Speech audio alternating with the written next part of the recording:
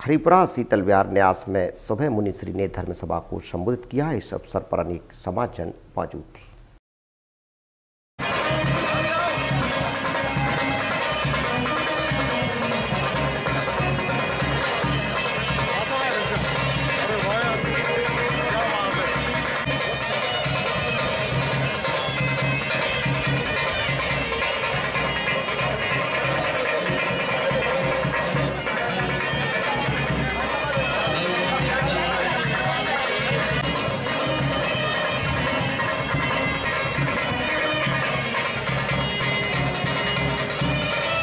शीतल धाम पर श्री सिद्ध चक्र महामंडल विधान का भव्य आयोजन, परम पूज्य मुनि श्री समता सागर जी महाराज के परम सानिध्य में यहाँ पर किया जा रहा है।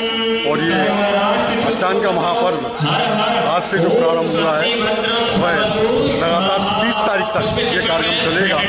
उनतीस तारीख को यहाँ पर पिच्छिका परिवर्तन समारोह परम पूज्य मुनि श्री का संपन्न होगा।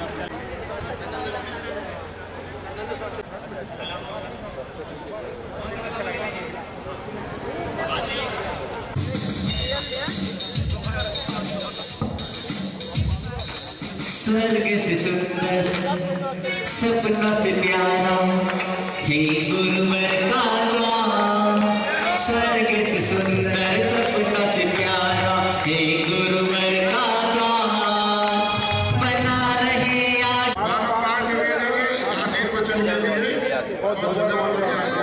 है ही में का हमें देनी सामने जाओ सूंड की बना पूछ की न बना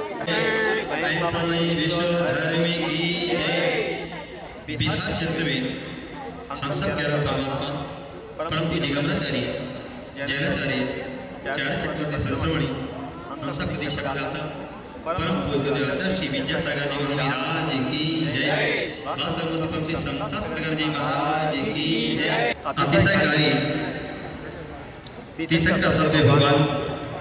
बरोबर बड़े बाबा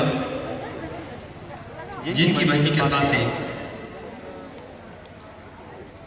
विद्यासागर जी महाराज के आशीर्वाद से परम प्रिय संत सागर जी महाराज और हम आप सभी निमित्त से चातुर्मास सन संपूर्णता को गुरु कृपा से पूर्ण अनेक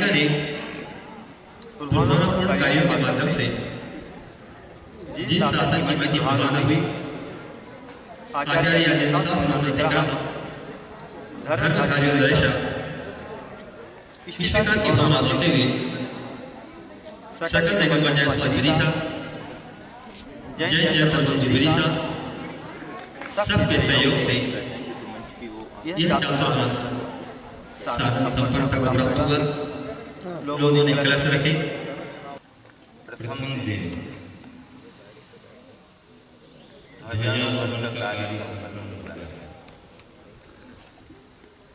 आज से ही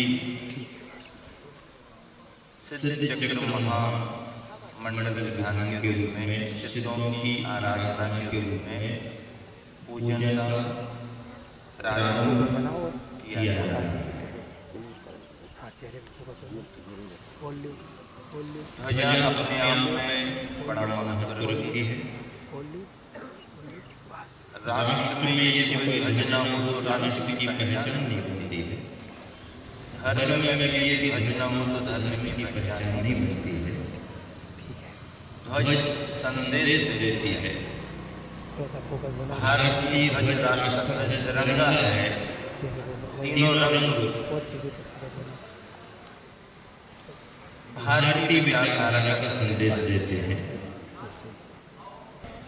सिद्ध चक्र महामंडल विधान का अनुष्ठान संपन्न हो सभी श्रद्धालु धर्म लाभ दें और देश में दुनिया में विश्व में कोरोना महामारी का प्रकोप कम हो सभी सुखी रहे स्वस्थ रहे प्रसन्न रहे हिल मिल करके रहे। और हमारा भारत अखंड इसी तरह से निरंतर आगे बढ़ता रहे समृद्ध हो और सारी दुनिया में अपनी पहचान बनाए। ध्वजा का संदेश यही है कि इस ध्वजा की छांव में सभी नर नारी धर्म की प्रभावना में मिलते रहे एक दूसरे के प्रति सद्भावना रखें एक दूसरे का सहयोग करें। देश और दुनिया से हिंसा और आतंकवादियों की घटनाएँ कम हो इन पर नियंत्रण हो। और देश दुनिया अमन चैन सुख शांति का अनुभव करे। सभी सुखी रहे सभी स्वस्थ रहे इसी शुभकामना से सभी को बहुत बहुत